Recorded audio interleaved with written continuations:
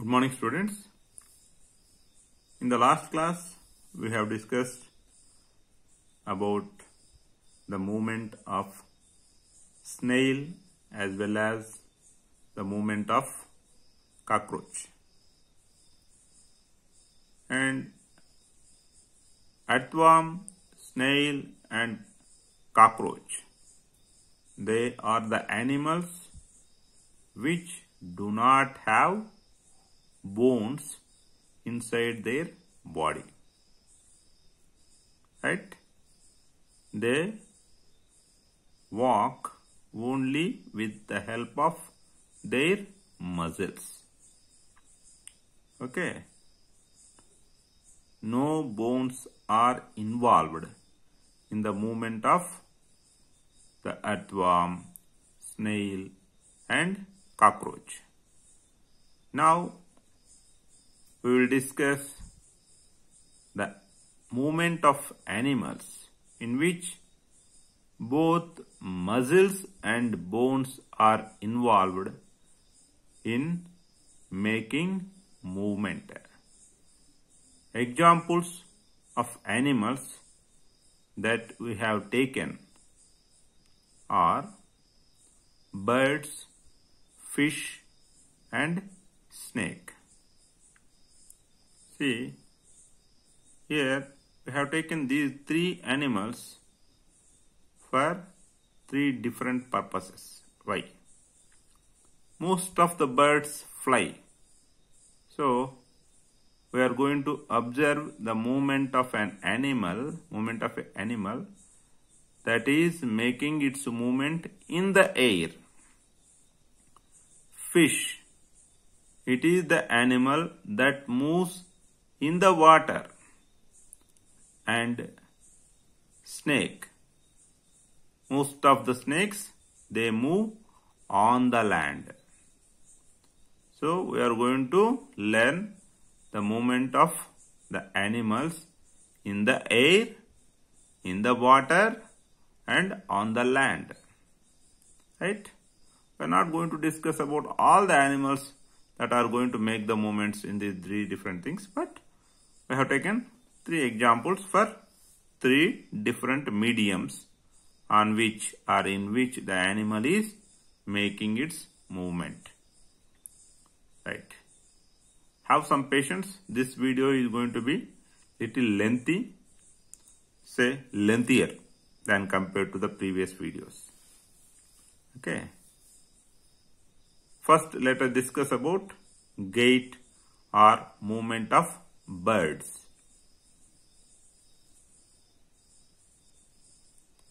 If you carefully observe, all birds can walk on the land.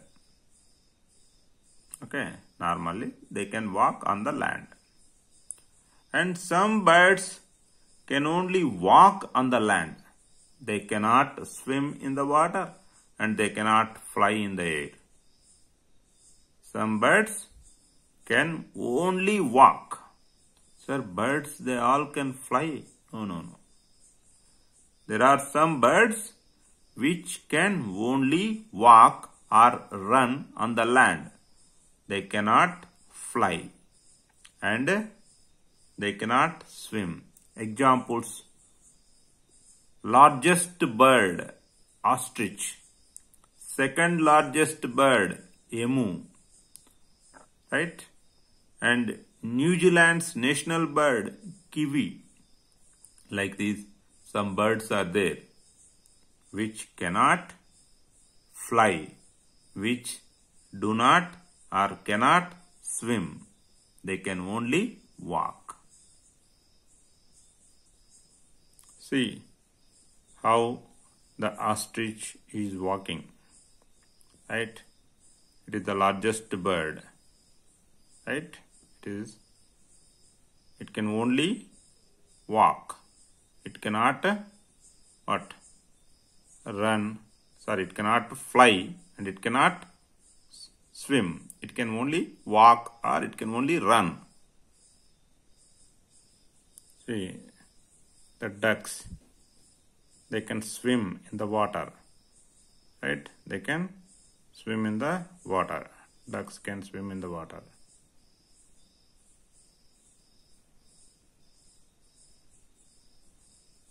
See, this is penguin.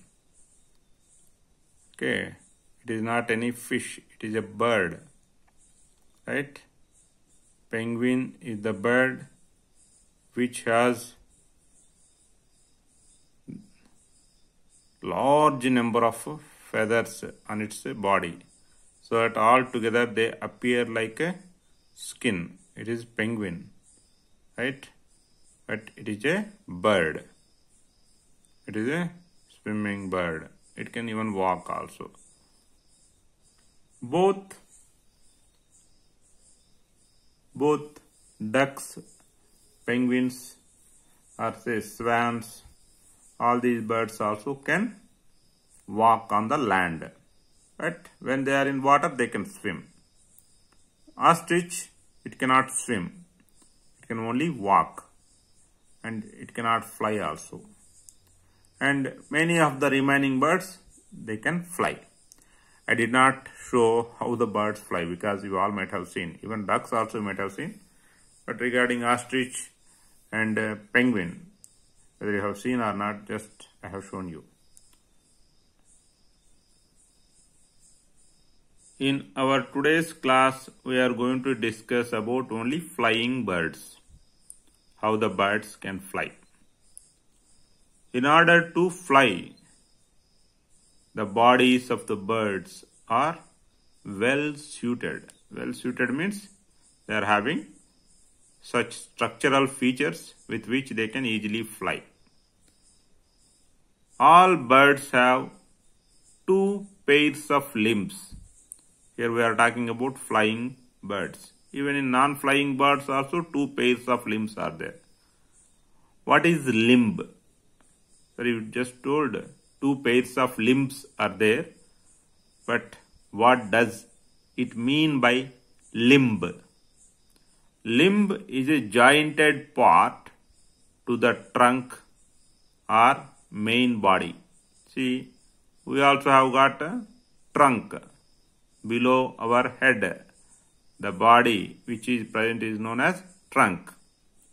And hands and legs are, they are the limbs. Okay, so hands and legs are attached to human body or the trunk of a human. So they are our limbs. In the same way, birds also have two pairs of limbs. How? We are having two pairs of limbs. What are the two pairs of limbs in our body? Hands are one pair, legs are another pair. In the same way, birds also have two pairs of limbs. Okay. What are these two pairs of limbs? First one is forelimbs. That is the first pair of limbs. Second pair of limbs is hind limbs. Four limbs and hind limbs. Forelimbs are attached to the upper area of the trunk. So in our body, hands are forelimbs. In the case of birds, they are wings. In the birds, flying birds, wings are the forelimbs. And hind limbs are attached to the bottom area of the main body or trunk. In our body, hind limbs are legs. Even in birds also, hind limbs are legs only. In birds, the bony parts of the forelimbs are modified as wings. Okay, so in our body, hands are forelimbs, which are also having bones. In the same way, in birds, the bones containing forelimbs, that parts are modified as wings by having feathers on them. Birds also are having shoulder bones. The shoulder bones of the birds are strong enough to give support to the wings. What does it mean by strong enough? They are having sufficient strength to give support to the wings. Why wings are needed support when the birds are in the air? Wings should not uh, get apart from the bird body. They should be retained with the bird's body. Because of continuous movement of the wings, if they do not get any support from some other part like the shoulder bones, they may get detached from the bird's body. So, here shoulder bones are strong enough to give support to the wings. Like how we are having chest, the top area of the trunk. The top area of the bird's body is known as breast. Inside our chest bones are there, ribs. In the same way, the breast bones are there in the bird. These breast bones of the birds are modified. They are modified. Modified means changed in such a way to hold the flight muscles or muscles of flight. The breast bones are changed in such a way to hold the muscles of flight. What are muscles of flight? The muscles which are used to move the wings up and down. finally, muscles only cause the movement. Whether they directly give the movement or they make the bones to move, that is a different story. In the case of the animals where no bones are there, muscles only directly exhibit the movement in the animal body. In the animals in which bones are present, muscles make those bones to move. Right? So here, muscles of flight, these are the muscles that are used to move the wings up and down. What are the wings? Modified forelimbs. The bones of hind limbs, they are special for walking and perching in the birds. The bones of hind limbs means the limbs that are present in the bottom area of the trunk. They are the hind limbs. The bones of these hind limbs, they are special for walking and perching. What is perching? Resting on something which is high and narrow. See here, the legs, the fingers of the legs of the bird, they are holding this branch in a tight manner and the bird is resting. Okay. So this type of holding it is known as perching. Okay, right? Resting on something which is high and narrow. It is known as perching. Bird which is flying, if it is heavy, it cannot fly in order to make the body weight light so that to make the flying easier. The bones of birds are hollow and light. Hollow means they do not contain much mass inside the bone. They are empty. They are air filled. They are air filled so that the body can be easily lifted in the air. In the case of non-flying birds like ostrich, emu, the body weight is heavy and the feathers are less so that they cannot fly. In the case of all flying birds, the body weight is less and feathers are more so that they can fly.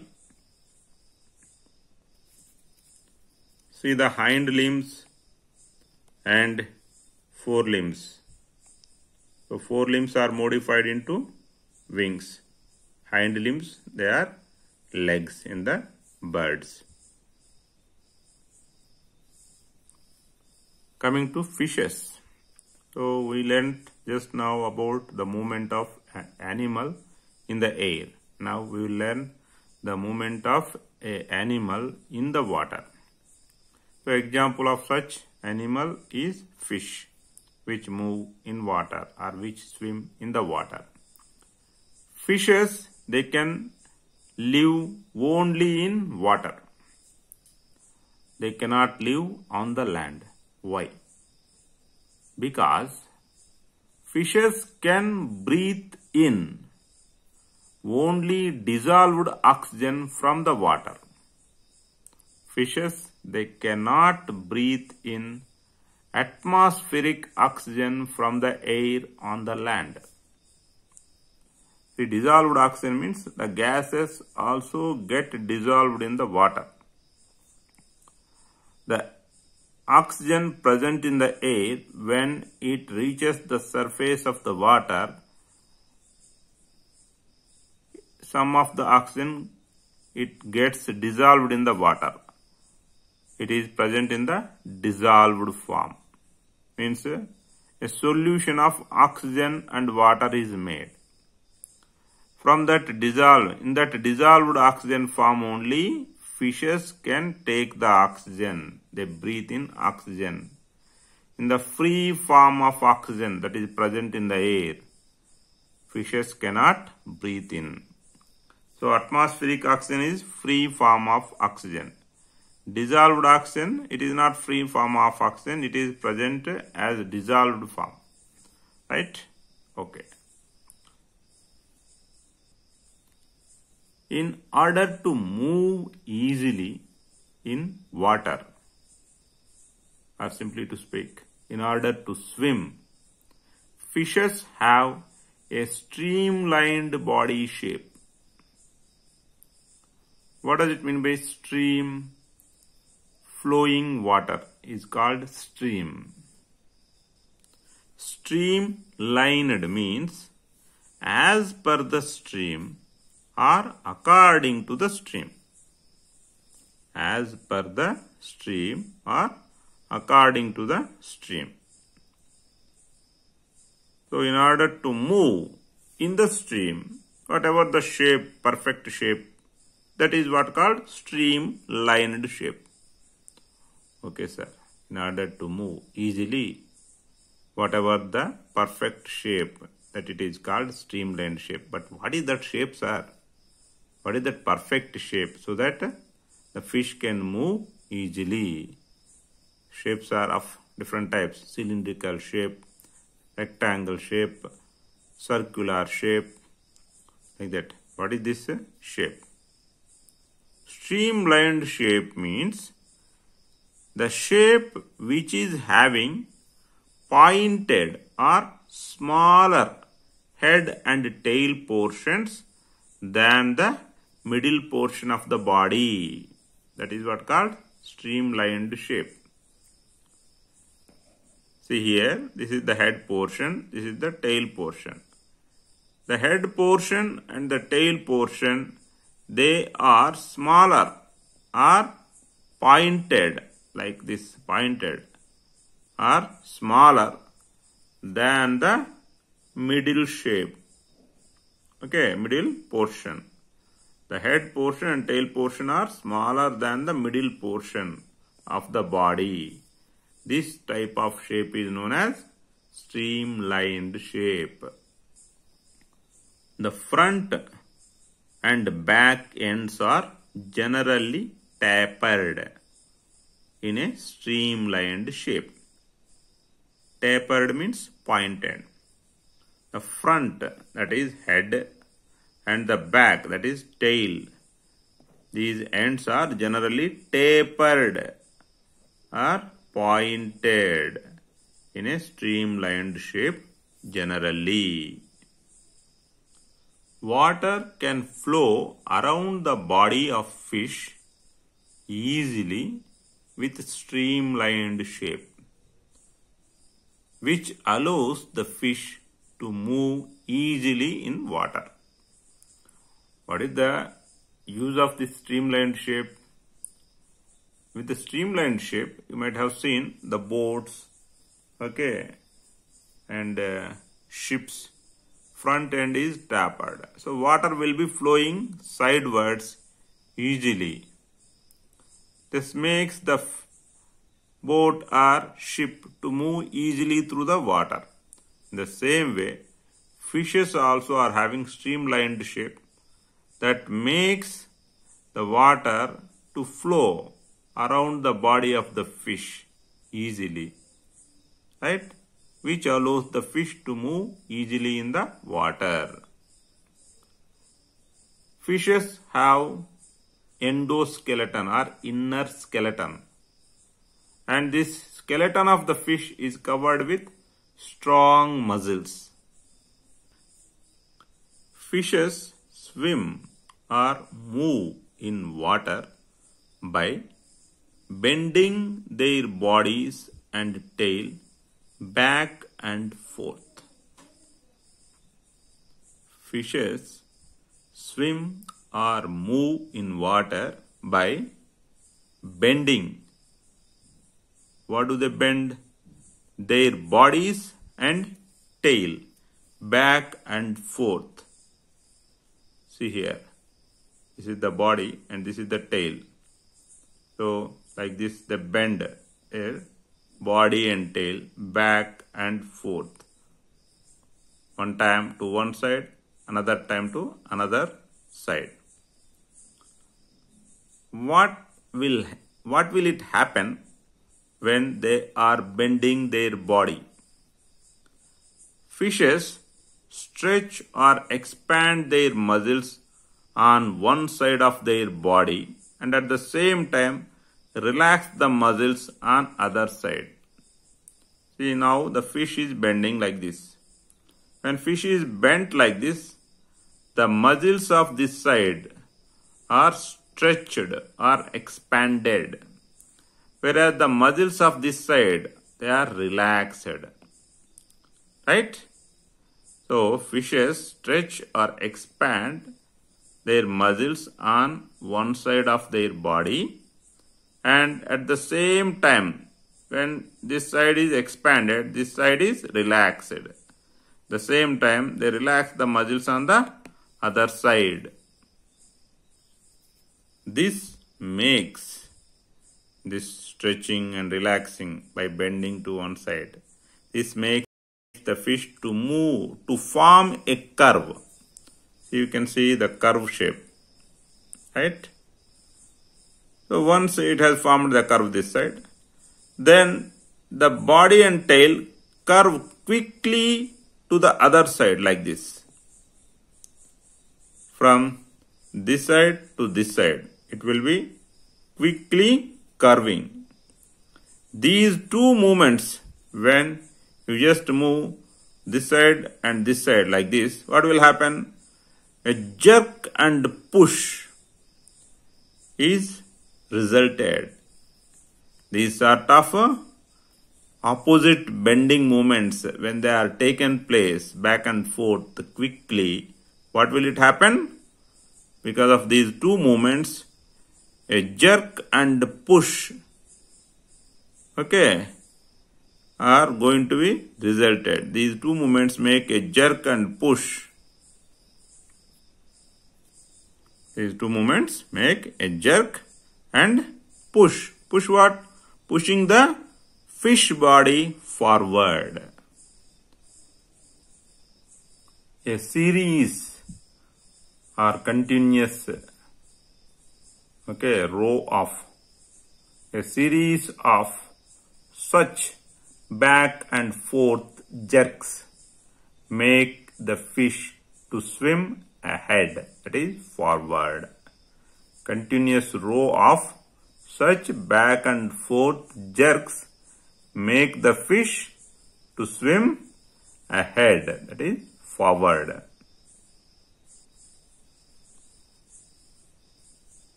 See the movement of the fish, how it is made. Three different types of fishes movement, four types, right?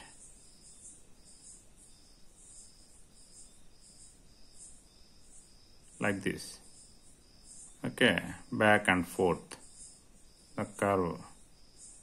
A jerky movement is going to cause the fish to move forward. The water pushes back in the opposite direction. Right? See, like this. It is moving. Okay. The eel is the fish which can swim even backwards also. So finally they form the S-shaped waves. Right?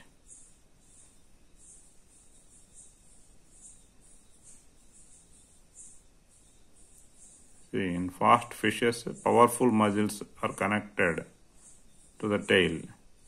So the tail itself will do all the work. Right? This is the stingray. Side fins, they move up and down like this. Okay. So we have learned how the fish is making its movement. Fishes have three types of fins. They are dorsal fins, ventral fins, tail fin. Dorsal fins are the fins that are present on the upper part. Ventral fins are present on the bottom part. This is tail fin, which is also known as caudal fin. Generally, the tail fin, it helps in the change of direction of movement. But in your textbook it is given all types of fins, they help in change in the direction of movement like that. Generally, tail fin or caudal fin helps in the change of direction of movement. And the other fins, that is dorsal and ventral fins, they help in maintaining the balance while moving. Even fish also, it needs balance. While you are walking, if your balance is lost, what will happen? You will fall. Even fish also, if its balance is lost, it will fall to either the side. The movement will be lost. So, in order to make a perfect movement, balance of the body has to be maintained. That balance is provided by the fins. You might have seen at least in movies and all. On a rope, one person is walking. And will that person walk directly like that? No. The person holds a long stick. As he is bending in one direction, he bends the stick, half of the stick in the opposite direction so that uh, his balance is maintained. So there, that stick is acting like a balancing tool. And if the stick was held by the person, was, I mean, is held by the person in vertical position or horizontal position, horizontal position. In the same way here also, the fins, they are present in the horizontal position. Okay, only thing is, right, some of the fins are present near to the top region and some are in the bottom region, right? Okay, these will maintain the balance while the fish is swimming. In Discovery Channel, you might have seen the underwater divers. Divers means a dive into the oceans or in the rivers. Dive, jump into the depth of the waters. That is known as dive.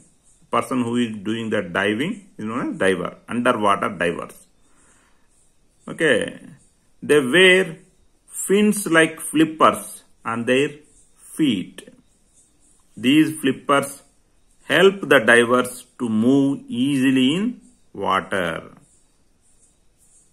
You can see one diver is going inside the water. Okay, right?